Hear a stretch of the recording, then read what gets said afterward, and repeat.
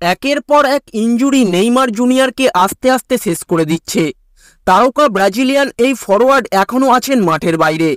দু বিশ্বকাপ বাছাই পর্বের ম্যাচে উরুগুয়ের বিপক্ষে খেলতে নেমে চটে পড়েছেন নেইমার। এরপর থেকেই মাঠের বাইরে আছেন নেইমার জুনিয়র।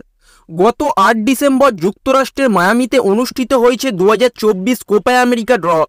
দু হাজার চব্বিশ কোপে আমেরিকা আসরে নেইমার জুনিয়র খেলতে পারবেন কিনা সেটা নিয়েই প্রশ্ন তার ভক্তদের। গত সতেরোই অক্টোবর দু বিশ্বকাপ বাছাই পর্বে উরুগুয়ের বিপক্ষের ম্যাচে চটে পড়েন নেইমার।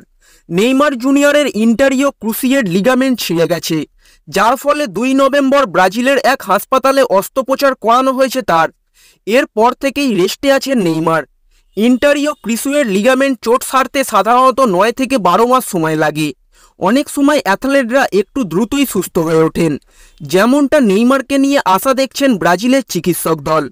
এর আগে অনেক বড় বড় ইঞ্জুরিতে পড়েছেন নেইমার।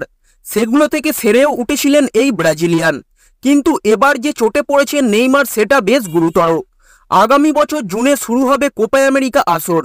কোপা আমেরিকার আগে সুস্থ হয়ে নেইমার জুনিয়র যদি মাঠে ফেরে, তবে তার সামনে বড় চ্যালেঞ্জ হয়ে দাঁড়াবে ছন্দে ফেরার বিষয়টি। চোট কাটিয়ে মাঠে ফেরার পর নেইমার জুনিয়রের সামনে বড় চ্যালেঞ্জ হয়ে দাঁড়াবে ছন্দে ফেরার পাশাপাশি গতি ফিরে পাওয়া এবং দলের সঙ্গে মানিয়ে নেওয়ার বিষয়গুলো।